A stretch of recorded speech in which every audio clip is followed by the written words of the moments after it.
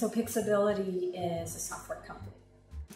We help large brands place their video advertising on YouTube, on Facebook, Instagram, Twitter, Snapchat, Spotify. So social platforms, but also more TV-like platforms where streaming video happens. And we help brands find their audience, find the people that they think are interested in their products.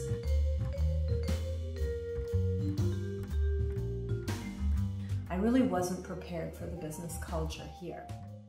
I didn't know anybody here, right? I didn't know American employment practices. I didn't really know how to found a company. On the other hand, Americans are much more open about trying something new, about giving you a shot, about encouraging entrepreneurship. That that was really wonderful.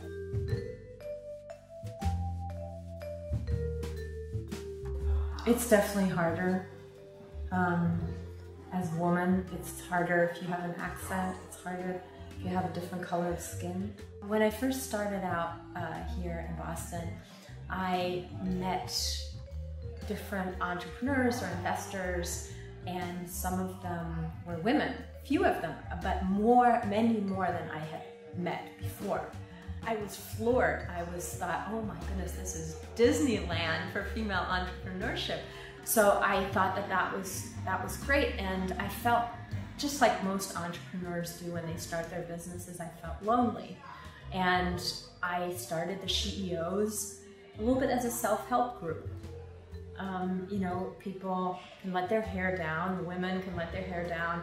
We don't let investors in, we don't let service providers in, and it's like a trusted circle.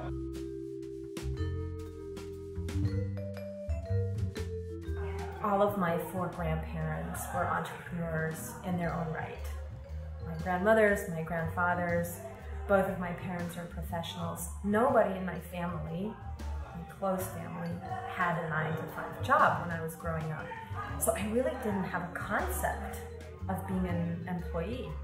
My family gave that to me and you know they also gave me you know, along the way my ambition, my sincere desire to be able to build a world that is better for people. And I believe that entrepreneurs create something very special, which is livelihoods. That's it's my great honor to create livelihoods for people and do that in a way that these are good jobs that can feed families, that give people meaning in their life, where they go to work uh, with a smile on their face every day. Where it's not drudgery, but it's joy, it's learning. They feel fulfilled at the end of the day and are not beat dead tired, but still can give attention to their families as well.